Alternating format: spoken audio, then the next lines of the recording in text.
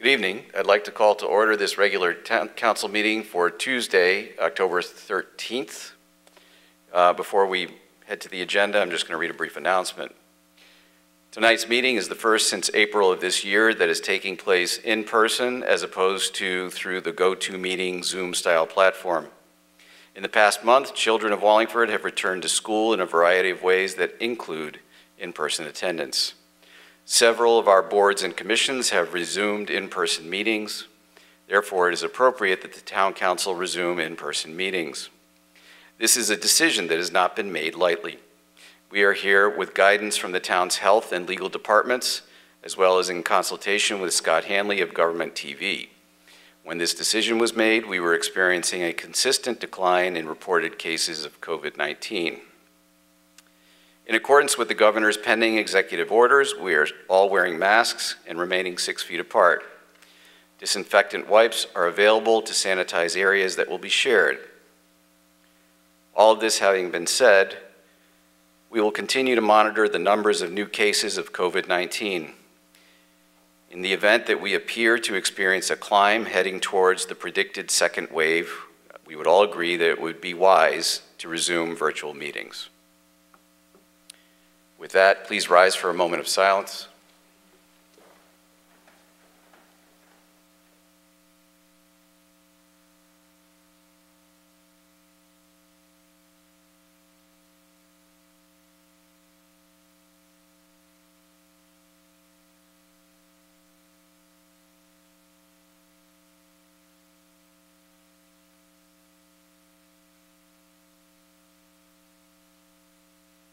We'll have the Pledge of Allegiance.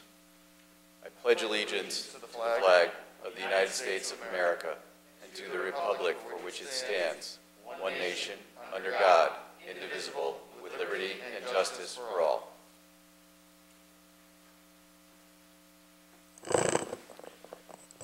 Madam Clerk, would you please call the roll?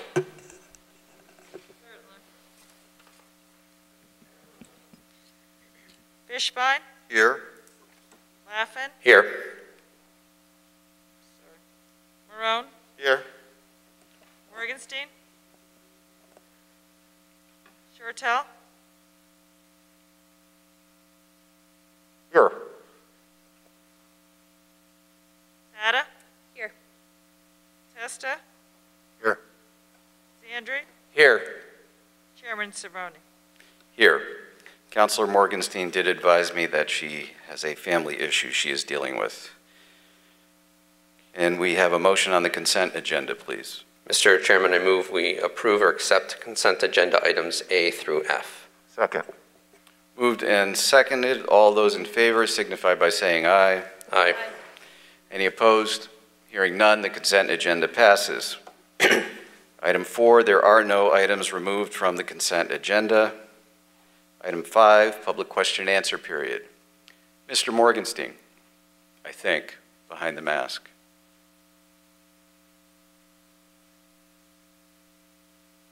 Larry Morgenstein, 177 South Main Street. We're still in a pandemic. There's no vaccine. This week, we saw five different schools report a COVID case. I really shouldn't even be here tonight. And what I'm, I thought really a lot about what I wanted to say tonight. And I'm going to tell you my story. Two and a half years ago, I was diagnosed with a heart valve problem. And I suffered a rapid decline over the last two years. The pandemic came and it delayed my surgery. And it delayed me getting other information. Turned out not only did I have a valve problem, but I needed a bypass. We couldn't do that because of the pandemic, but a window opened up. And on June 17th, for three hours, machines did my breathing and circulated the blood through my body while they repaired my heart. I'm one of the vulnerable. There's plenty of people in this town that are vulnerable. There's people in this audience that are vulnerable still. There is risk being here. We're going to have these meetings, and we have other boards and commissions, as you said, that are meeting. I think of planning and zoning. We're looking at Bristol Myers coming up again. This place was filled with people, and they have every right to be here, but they may not be able to. They'd have to choose between their health or the issue of saving their neighborhoods, protecting their property. Even in simple planning and zoning cases, a neighbor may want an addition that affects another neighbor. They may not have a lawyer that could come for them. Again, the choice between health and dealing with an issue. You know, I've been here for years coming to these meetings because I take it very seriously that the public should have a chance not only for access, but for participation. We have the capacity. You've demonstrated that. And I don't believe you made this decision lightly. But at the same time, for minimal money, you could still provide that access. I won't be coming back, and I'll be leaving this meeting immediately, and I won't probably be back to participate in any way. Maybe in some ways, some of you might feel good about that. Maybe not. I think people know me enough to have some respect for the way I take this. But what I'm asking tonight, not for myself as much as for all the other people too, and the people that are here in this crowd, we have the capacity to do both. If you choose to be in person, you could still offer that opportunity. I'm not asking for just one way or another, but we have the capacity to do both. And I think the obligation to the public, not just for access, but for interacting, is really important, especially since we could do that. And that's really all I have to say tonight. I don't see it as an argument, but I can't be here. And I know other people won't be here either. And I think that's civically a shame and a loss to this community. And I'm asking you, Chairman Cervoni, I'm asking the town council, I'm asking the mayor to do everything that they can. Tomorrow night, there'll be a planning and zoning hearing, public hearing. There's three major issues that I would normally come for, each one important. They're talking about the Brothers parking lot. I have an interest in that, plenty of people do. There's the ongoing issue for the chiropractor, Tracy Melton, at the old Connecticut Bank and Trust. A lot of people have been interested in that. And then there's an environmental issue at Amatec with the old Pfizer property. And anybody who knows me knows that that's of great interest to me and to other people that have filled this auditorium for other environmental issues. I don't think people should have to choose between their health and civic participation. I hope you'll change your mind and do both, even if you feel that the need, because you can, by government orders, it allows for it. I know that. But just because we can do something doesn't necessarily mean we should. So I won't be seeing you until this pandemic is over. I know that tomorrow's meeting, Gina wanted to testify and say something. They won't read her statement. Mr. Seichter says they don't do that anymore. So her voice won't be heard by the public. It'll be read by the people up on the dais, but it won't be public. I really have nothing more to say other than you have the power to change this and do both if you insist on being in person, but Mr. no Morgenstein, I'm. I'm glad your heart surgery was successful. Great, thank you. Anyone else? With that, we will close the public question and answer period and move on to item six on the agenda.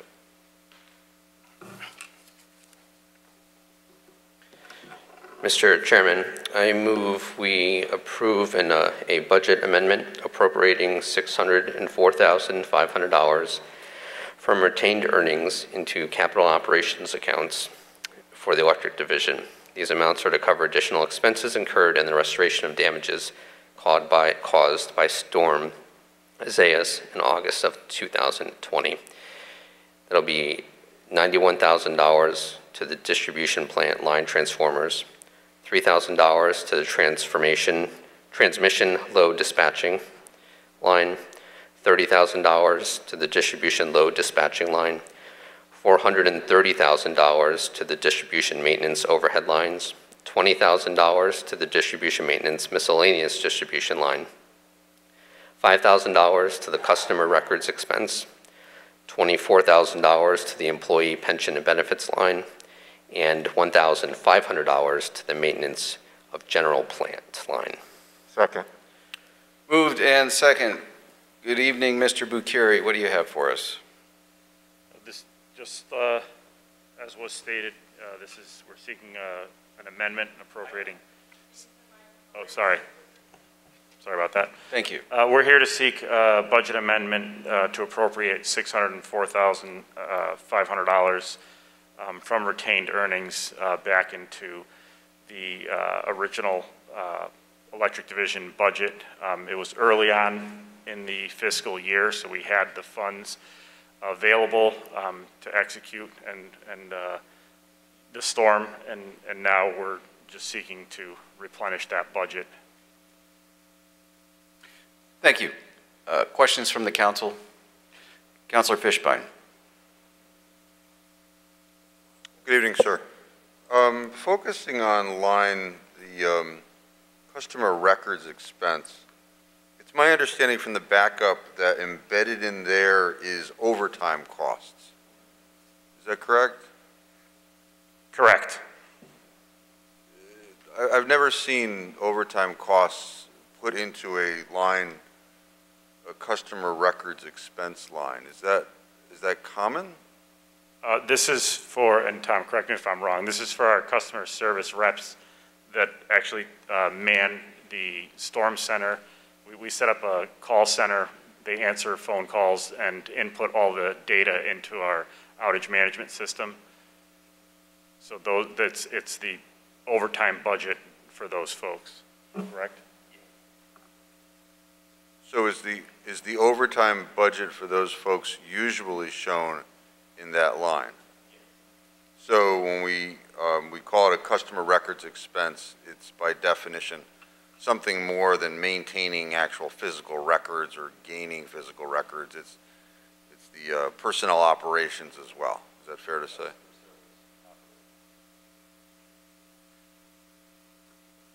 Now, the um, employee pension and benefits line, the $24,000 expenditure, I would expect that that's directly tied to that overtime expense?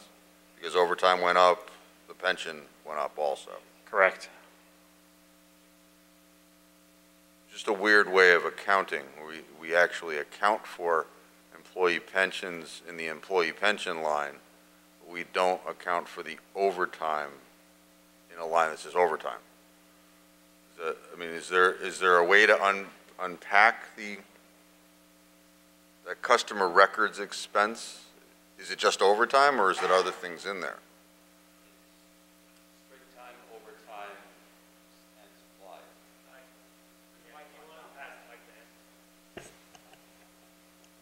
and supply.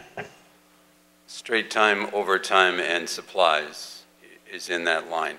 Uh, Stationary envelopes, billing forms, that type of thing are all under that account 903. The division's accounting is slightly different from the way the general fund accounts for things. As I understand, the general fund may have an- a line for overtime and a line for labor. Our labor is split among a variety of accounts and the overtime among that, those same accounts, straight time and overtime. I understand how we end up, it's just, it's very difficult for the public to look at a budget, look at a report, where a line says, you know, is titled customer records expense, but we find out that there's, you know, retention of records, the expenses for that is in that line. Apparently, straight time for employees is in that line. Apparently, at least overtime is in that line. And it's, it's very difficult for somebody, so just, why is it structured that way? Our accounting is kept in conformance with the Connecticut Uniform System of Accounts. It's what we're required by charter, uh, actually, to, to account for our funds in that manner. I believe water and sewer has slightly different accounts, but they also have a uniform system of accounts that they have to follow. And who establishes that accounting system? Uh, The Connecticut Department of Public Utilities initially established it. They're now part of PURA, Department of uh, Energy. Okay, thank you. Um, Thank you, Mr. Chairman. Thank you. Any other questions from the council? Questions from the public? There being none, Madam Clerk, would you please call the roll? Certainly. Fishbein, Yes? Laffin, Yes. Marone, Yes. Shortell, Yes. Tatta, Yes. Testa, Yes. Zandri, Yes. and Chairman Cervoni. Yes. And the motion passes. Thank you very much. Thank you. On to item seven. Mr. Civitelli, please present your update on COVID-19.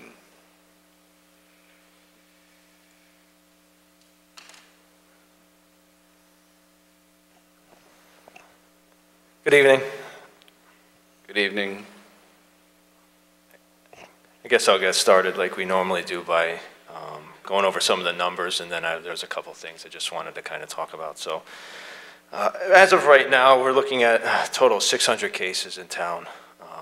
The split initially over the last several months has been 50-50 between uh, nursing homes and community cases, but as of right now, um, the community cases have obviously overtaken nursing homes at this point. Um, So we're looking at 62% for community cases to 38% in the nursing homes. Uh, So that basically telling us that the nursing homes at this point are in much better position than they had been in the past. Over the last few months, we've seen numbers vary, but just to give you some perspective, uh, by month, August, we had 24 cases, September, 33, and so far for the month of October, we've had 20. The issue that we're running into when collecting data is it, it seems that state of Connecticut is adjusting up or down some of our numbers after the fact. Um, so we try and categorize things by month. Uh, and then it seems like when we go back and run reports for the previous month thereafter, there's a slight deviation. I'm sure you saw last week there were several thousand tests that had to be adjusted, which impacted the positivity rate. So I think what we're seeing is when you're doing the volume of testing that we're doing in the state, uh, last week we did roughly 150,000 tests in the state of Connecticut. Um, there's some issues not only with processing that, but also reporting it. So I think that's something that we're seeing right now. Uh, From the beginning of the pandemic till now, we have roughly 12,434 individuals. Individuals were actually tested in town, which is 27% of our total population. Um, When you're looking at, um, as a percentage, how many people have tested positive versus our uh, population numbers, 0.82% of our total community uh, tested positive.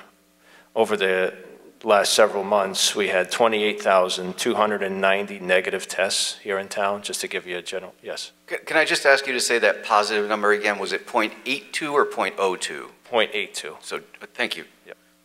Um, So just for, and again, some of the data, I'd like to have it more current um, in some cases, but some of the, like I said, due to the- some of the state reporting, it lags. Um, From 9/26 to 10/3, in town, we had uh, 1,928 tests with a positivity rate of 0.7. Um, So another uh, data point we've used over the last several weeks is a seven-day rolling average, um, something that we're seeing more now as the state seems to be converting over to a 14-day rolling average, but I want to continue to use a seven-day rolling average. Um, Right now, our seven-day rolling average is 4.8 cases per day uh, from the week of September 27th to October 3rd. Um, That puts us right in line with New Haven County numbers, which are 4.7, which is still considered considerably low when you're looking at community transmission. We did have uh, two fatalities in nursing homes since our last meeting three weeks ago. And we have 15 uh, patients currently at the Quinnipiac Valley COVID-19 Recovery Unit that we've, that was established uh, quite some time ago.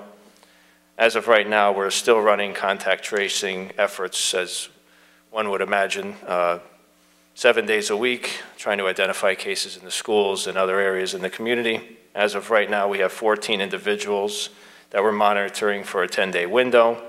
Um, A lot of what we're seeing is cases related to gatherings and familial spread. So mom or dad test positive, and subsequent people in the home are testing positive thereafter. So that seems to be the general consensus at this point. Uh, We're continuing to still work with Board of Education and and. Um, I have some numbers here for Choate. As of October 11th, uh, they've conducted 2,220 tests on campus. As of right now, they have zero positive cases. Uh, They're still quarantining. I think they're just about ready to get out of quarantine uh, for the individuals who arrive back to campus. Um, At this point, uh, really, when you're looking at the, the way the state is going overall, I did want to um, point out that I'm sure many of you heard of the town alerts that are going to start being instituted statewide. Uh, An example was Norwich and New London recently, where it was found that their 14-day rolling average was, in New London's case, 30.5, and in Norwich's case, 46.9. Um, There was a town alert, and I guess based on those alerts, they recommend certain measures be in place. Um, There's still a draft form of what the recommendations would be. We're trying to evaluate what that actually would mean if we ever were put on that list. Um, Just for some perspective, so just to compare us to, to the- those two towns, again, New London was 30.5, Norwich was 46.9, and, and fortunately, at this point, we're at 3.7. Um, So we're staying under that five cases per day, which seems to bring you to the next threshold. We're considered what's known as a level zero. Uh, Level one would be between five and 10 cases per day. Level two would be between 10 and 15, so on and so forth. So, um, you know, as far as that, we're concerned there, that seems to be the path that um, we might be taking moving forward. Phase three, uh, reopening started October 8th, so we're 75% capacity in restaurants. I'm sure many of you are aware of the, the changes that have been made. Um, We're trying to monitor the reopenings with the cases and how we react to that as a community. And then just one last thing of note, um, recently I was asked to uh, sit on the Governor's Vaccine Advisory Task Force, which there's 21 members. I think that puts us in a good position as a town for us to have a person actually in that room, um, listening to what's going on, helping making the policy decisions, hopefully. And um, I think that's kind of where we are at this point as a town. We're just trying to monitor everything as best we can to try and get a grasp on where cases are get to those quickly so that we could identify the situation and try and isolate the people before it becomes a greater issue. Um, But that's kind of where we are from the numbers at this point. Is it safe to say that you accepted the governor's appointment? That is, that is true, I did. Well, thank you for doing that. Um, If you're one of 21, and we have, I think, 161 towns or something, uh, that says something. So Thank you. also, congratulations, and I'm sure we will be well represented, and the committee will be well served by your presence. Thank you, I appreciate it. The first meeting is tomorrow night at 6 o'clock. Excellent. We'll look forward to hearing about that. Um, I have questions from Councilor Shortell. Thank you, Mr. Chairman. Council Marone, your head's in my way. Um, Thanks for laughing at that, Barbara. Uh, Mr. Civitelli, thank you for being here. Uh, Is it safe to say, based on your update, based on the numbers that you provided, that as of now, then, you feel things are as under control as they can be? So we're not, are you saying if we went to level one, that would initiate what? What would you do differently, or what would the, what would be different if you came to us in two weeks and it was at Yeah, level one? I That's a great question, and I think that a lot of us in public health, we're trying to balance, it seems at this point, we've resided to the fact that this, there's going to be a certain level of background in the community, that there's, there's going to be, short of a pharmaceutical intervention, this is going to be around for quite some time. Um, I guess the question becomes to what extent. So I think the state's trying to set thresholds for alerts, but I still even think that the numbers that they're trying to set that by are somewhat flexible. Um, I heard today at the governor's conference that uh, we will soon be on our own travel advisory list. What does that mean? Um, Because as a state, we're roughly at seven cases per day, um, over 100,000 rolling average. So the question became, maybe is that threshold going to increase? Will that be 15 as opposed to 10? Um, But I think that the guidance for the uh, town alert, they give you some thresholds. So if we hit five, they recommend, you know, um, talking more about, you know, masking, other prevention methods in the community, which is something that we've been doing all along, but if, you know, for some way we, you know, had to step it up. It seems that more of the critical threshold seems to be when you hit right around 20, 15 to 20 cases per day. And I've thought about this a lot in that, how do we measure how well we're doing versus March and April? And when you go back to March and April, we were really only doing 400 tests per day. And now we're roughly averaging around 13,000 tests per day. So it's really hard to, I remember before we used to say, you know, you couldn't get a test. You couldn't find someone, if you were sick, you had to really be sick to get a test. Now we're testing asymptomatic, people at home, you know, long-term care facilities. It's really hard to gauge where we're going to be as a community. I would expect that if we could maintain some of the levels that we have right now, as we've seen through you know, August, September, October. But my assumption is, is that, you know, as we retreat indoors more, the cases would, would continue to rise to a certain extent. The question is, is how, how high? So along those lines, uh, we've had some, as a parent, I get the Board of Ed, as many of us do, the Board of Ed emails. Uh, There's an article in the paper about that, and then we had another, there was another email that came out like the day the article ran. So I- we've had, a looks like a, a bunch of cases at Moran.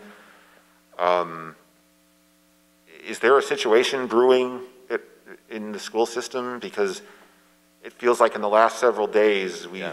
we, we we started school, I think, September 1st or something like that, and we got to a point where I think we had, I think I- we had like six cases, and then in the last four days, I think we've had six more. So is it's a there, great- is there a concern about the school system?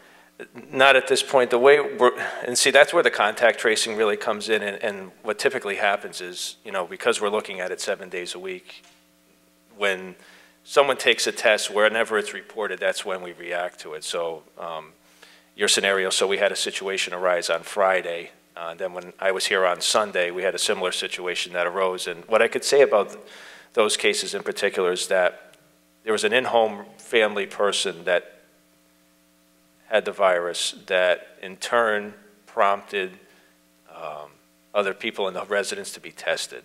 And I think that's really what we're seeing is a symptomatic person in the home, and then you have individuals who are attending school that therefore then are being tested, and some of those are coming back positive. So I think that that's really what's leading to that. What I'm really looking for in the schools is that if student A and student B in the same cohort end up testing positive. So if we could identify one person, remove them, take that cohort offline, and then push forward, that's the plan, not really set forth by, by us, but by State Department of Education. The real question that Dr. Menzo and I have had is, we're just looking for that relationship between multiple students in the same cohort testing positive. Then that's something that we know there's, it's spreading within the classroom, right? So that seems to be the, the measure.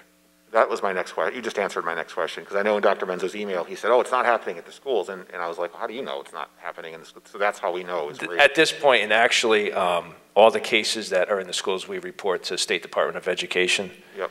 Um, And I think Dr. Menzo and I, uh, our opinion from the very, uh, uh, from the beginning was to be as transparent as possible what was going on in the schools. So we send out two letters every time there's a case. One letting the district know, and then a supplementary one to those who are directly impacted by it.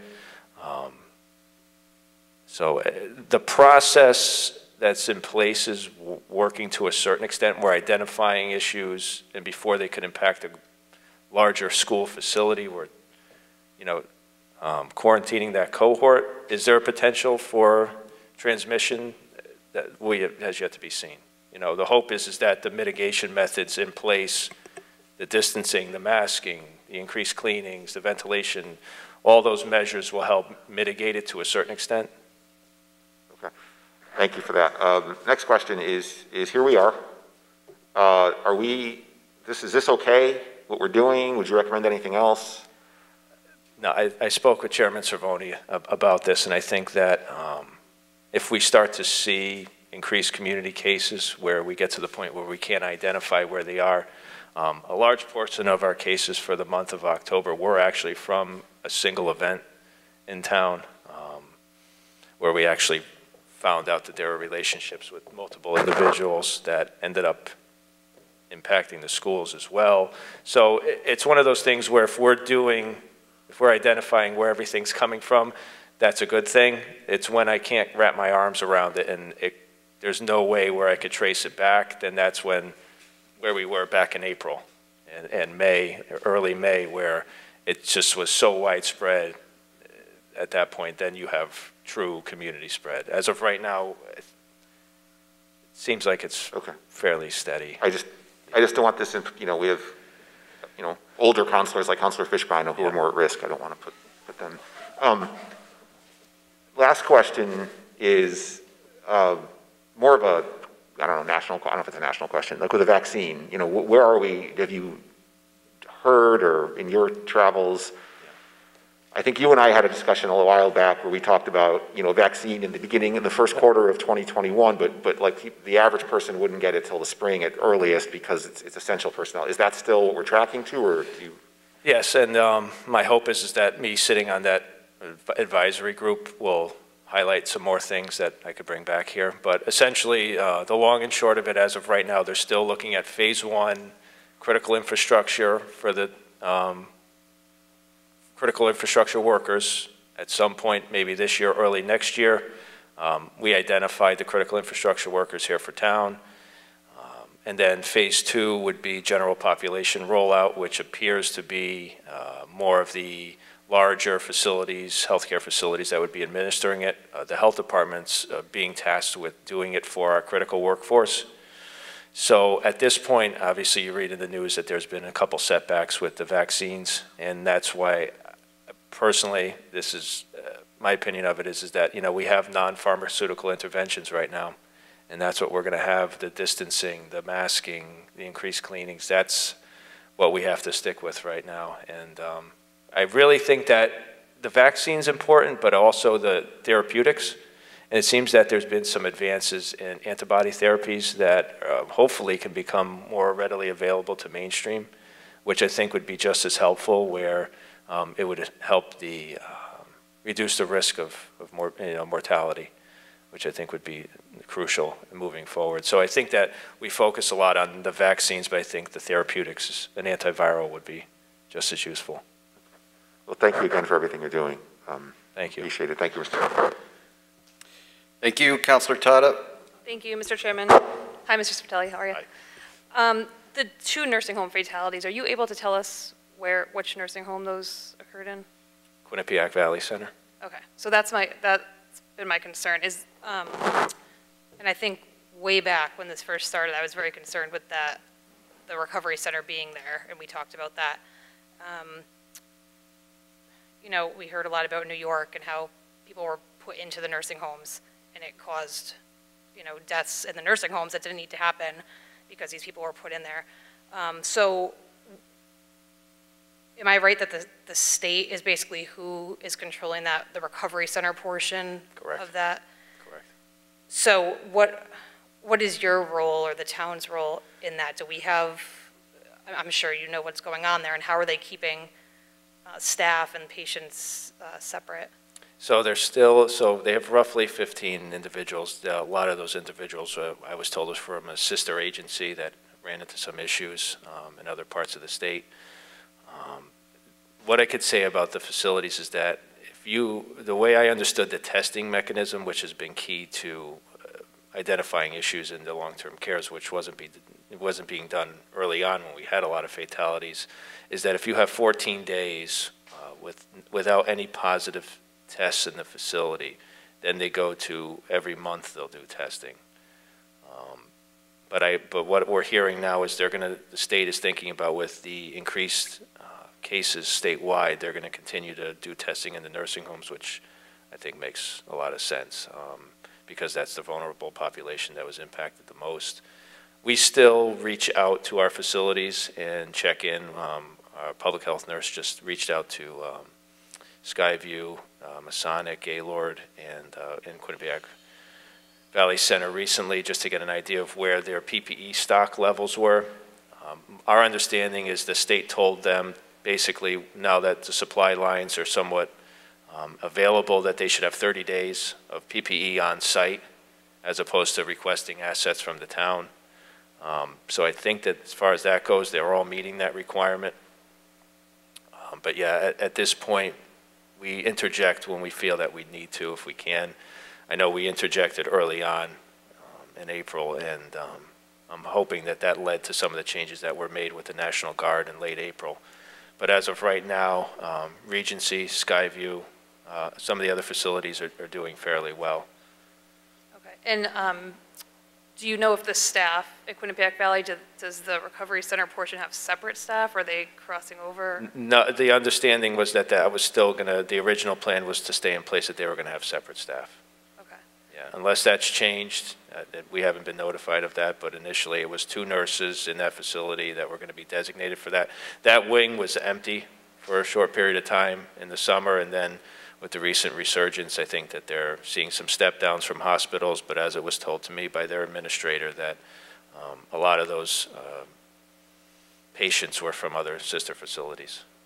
Okay, And they're, are they able, I'm assuming they're, I think back months ago when we talked about this, they, they chose to have that in their center, correct? I think they received money from the state to have that center. That was my correct? understanding, correct?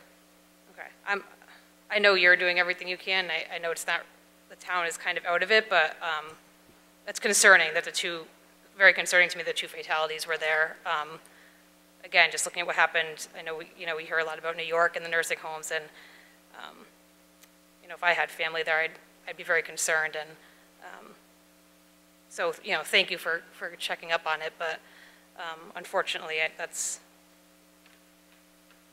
you know, that- that's concerning, but, um, yeah, I guess that's all we can do is. It, it definitely is, and I think that um, clearer lines of um, who's responsible for what has been designated at these facilities. So if, and with the frequent testing, the hope is, is that it, it wouldn't get to that point. Yeah. Um, But I think we know how it happened, lack of PPE early on, infected workers coming in. um, And now if we could identify the affected workers, the affected patients quicker,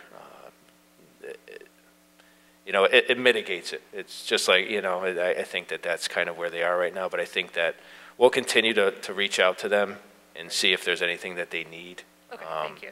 As we have, it's, it's hard to, t- I don't know, personally, I don't know the um, condition of the individuals that passed prior.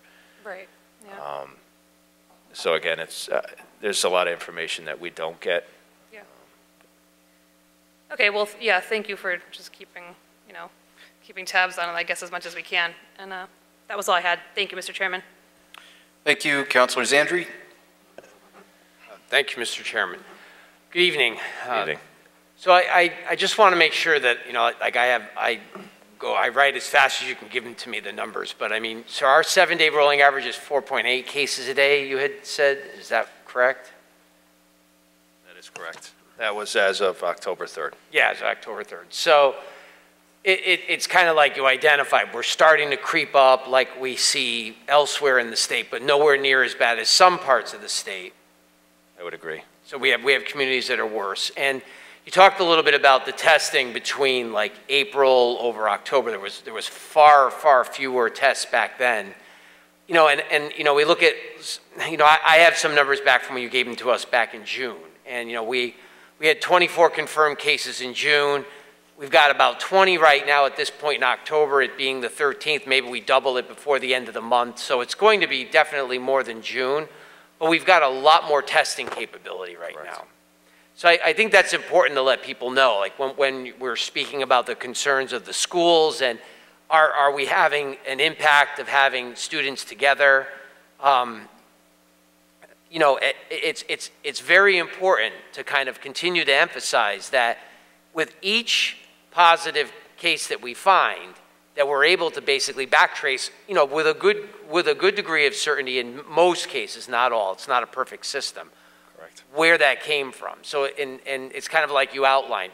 So far, it hasn't been because of, uh, you know, the same cohort or, you know, and it's been family, it's been a gathering, it's been a social event where, where people, for lack of a better way to say it, got, got too far back to normal too soon. Maybe they were con- congregating around, you know, you know, the chips and dip or whatever the case might be, and they're, they're too close together, they're not wearing masks, and they're within six feet. So I, I guess I say all of this because, you know, a lot of people push back real hard. You know, why, why are we not on phase four yet? Why are we not doing X, Y, and Z yet? And, and, I, and I try to stress balance over everything else because as we kind of edge into, you know, into phase three, and then, you know, we may have to pull back to phase two, um, you know, depending on, on how, how drastic things get. Um, I, I also like to identify there's, there's different circuit breakers in certain systems. Like, like for the example, we were talking about the schools. We're going to reach a point of winter break. That's a solid break in time where you get people that are normally together that won't be. And that, that will be a divisional separation just by the holiday break. Now, people will be around their own families, but pretty much they'll be you know, indoors together. There's a lot of social events that are not canceled. So I guess where I'm going with all this is I, I don't, I want people to stay informed with the information that you give us and the information that comes out. But I, I don't want people to overreact or panic. I mean, one of the first things I saw the past couple of days when, when, the, when these numbers of cases per day started coming up, I'm not sure where people were getting some of the numbers from. They were more exaggerated than what you just gave us. But, but they start to inflame. These people are, we should be closing schools, we should be closing this, we shouldn't be doing that. I, I don't, I'm not suggesting we may never get back to that point if it really gets to be a truly true second wave of it. But I, I want people to, to approach it cautiously, everything that you do, and, and maybe to prepare in a situation like that. But I don't want to, I, I want people to understand there's a lot more testing now. So if the, if the positivity rate actually ticks up, it's because we're testing 10 times the number of people, and we're probably catching some that were there before that never got discovered. People were sick, they went home, whatever the case might be. They maybe never went to the doctor, they got better at home or whatever, you know, whatever. When I get when I've gotten the flu in the past, I don't go to the doctor. I'm sick enough. I know it's the flu, so I don't go. I'm not a statistic that year, but I probably had the flu. This is much more critical, much more dangerous, and people should get tested. But the point that I'm trying to make here is with a lot more testing and not a huge increase in showing that folks are positive. I think that's a positive thing. But I, am going to kind of give it to you and ask you, do you, do you feel, because maybe, you know, my, my layman's understanding of it is going to be different than like your expertise. We're testing 10 and 15 times the number of people that we were three to four months ago, and we're not seeing much of a change in the, in the total numbers of confirmed cases, does that bode good? Should I not be looking at the information like that? Can you help me with that a little bit? Yeah, I think, um, like we say in the office, negative is positive these days. And um, but the thing that I'm trying to, we, what we're trying to figure out is that you know when you see the numbers from positives from today, it could be a symptom of something that happened a month ago. You know, it, has, takes 14 days to amplify in the community. Then you have time within the household for that to spread within the household and then come out into the community. So, um, you know, some of the numbers that we saw late September, early October were of the belief that it's a result of what we saw on Labor Day. So, moving forward, we're going to try and hit these markers like Halloween, Thanksgiving, all the holidays that are coming up that we really didn't have to contend with before, and trying to see what impact, if any, that has. Um, you know, for have, being at phase three, and, you know, assuming that the cases stay as steady as they are right now, I would assume that we'd end the month with somewhere close to 50, maybe 60 cases, unless we have a, something brewing that we just don't know about, um, which is always the case, right? We, you know, if the- there was uh, an event in town that we had several cases at that caused the issues in the community and the school, which had multiple impacts. Um, If we're able to identify those cases earlier, you know, or people stayed home, um, if they didn't feel well, that would be another thing. But uh, the numbers are hard to, to use only. It's, I try and look at it, how quick they're rising. Um, So it- the- if you asked me a week ago, because October 1st, 2nd, and 3rd, it seemed like we had a, a lot come in. And then it slowed down, and then more came in. So I don't know if it's the reporting from the state with the number of tests they're doing, um, but I know that a lot of people are being tested here in town frequently. Like I said, we had 1,900 tests roughly a week ago. So there's ample testing out there, but I think with ample testing, we'll also have a, a general understanding of where we're going. Um, but I do think it's a balance. We're- Great, thank you. And- And I have, I have a follow-up too. So I, I want to try to get a better understanding of, of, you know, we, we've been talking about as people do become infected or test positive and, you know, they do the quarantine and all of that.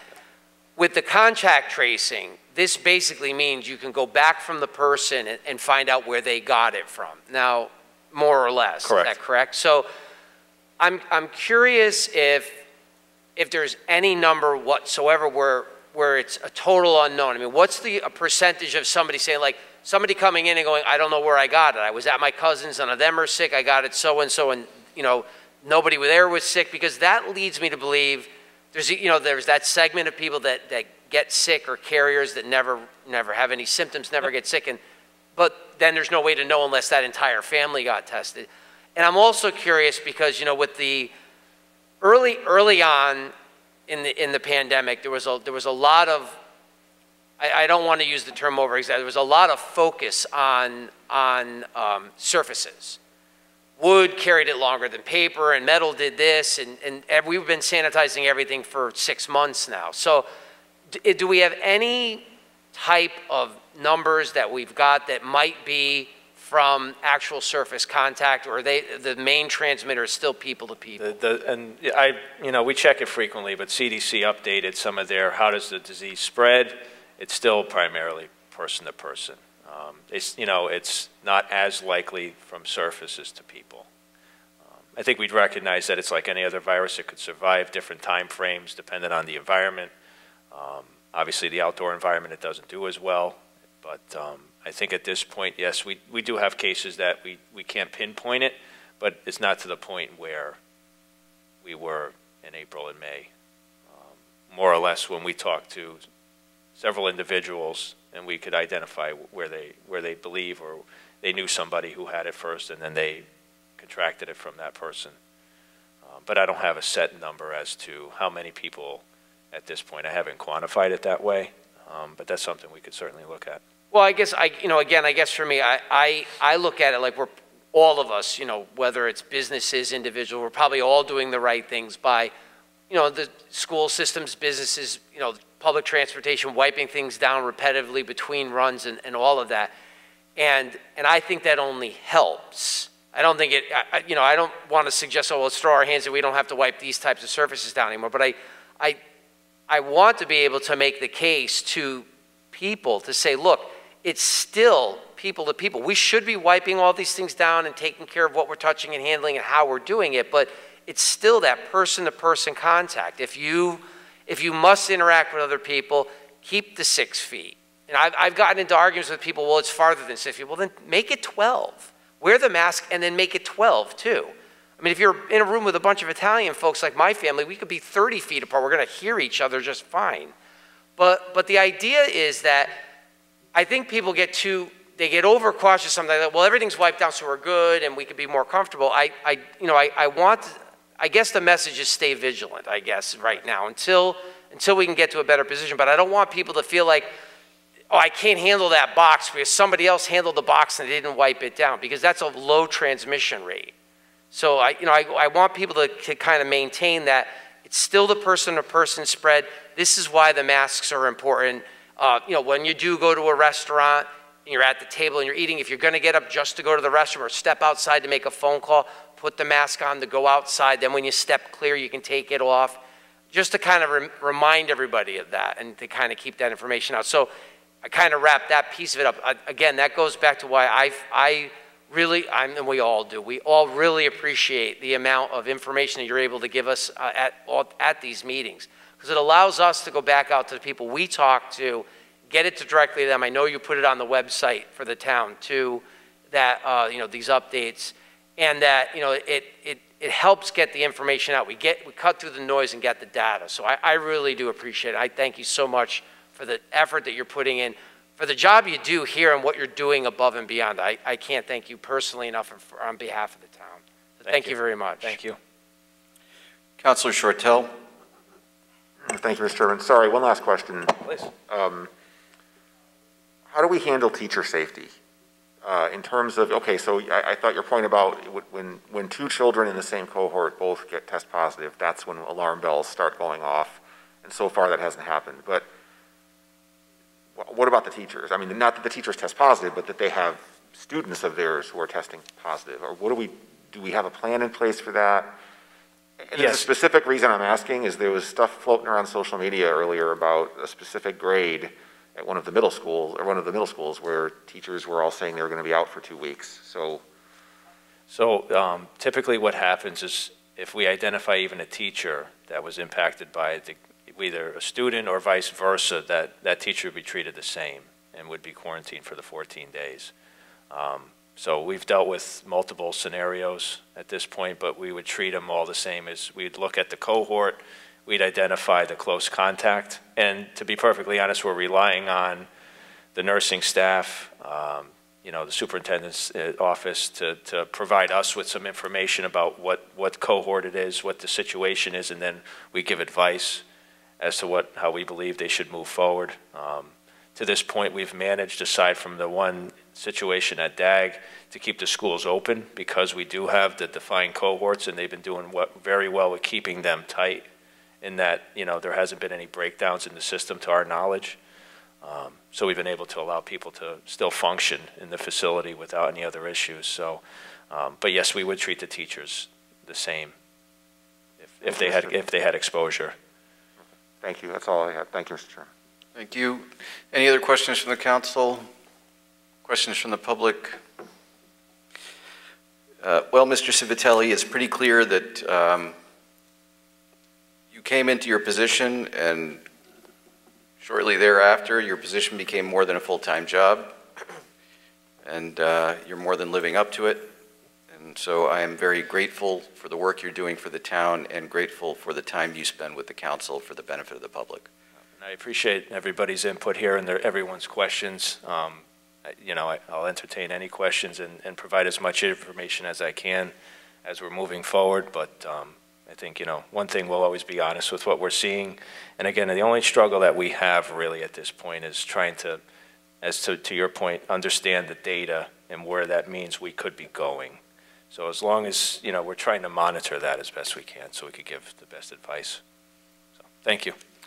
Thank you. Uh, With that, can we have a motion to go into executive session? Yes, Mr. Chairman, I move we go. No. Say no? Attorney Farrell's here.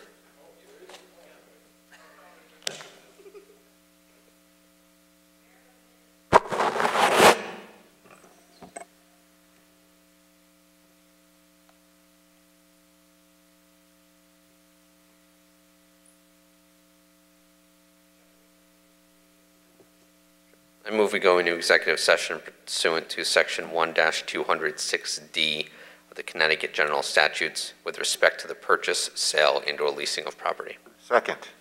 Moved and seconded. All those in favor signify by saying aye. Aye. Aye. Any opposed? Hearing none, I declare the council in executive session. Kindly clear the chambers.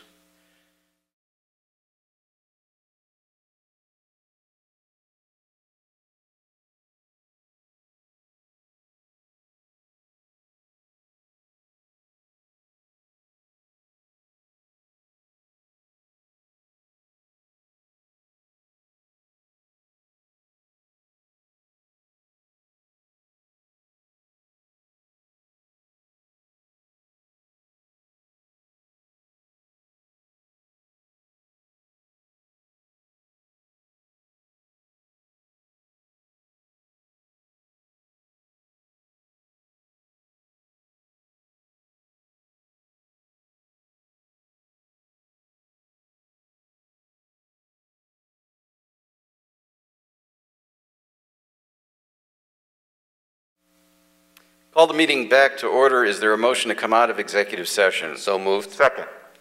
All those in favor signify by saying aye. Aye.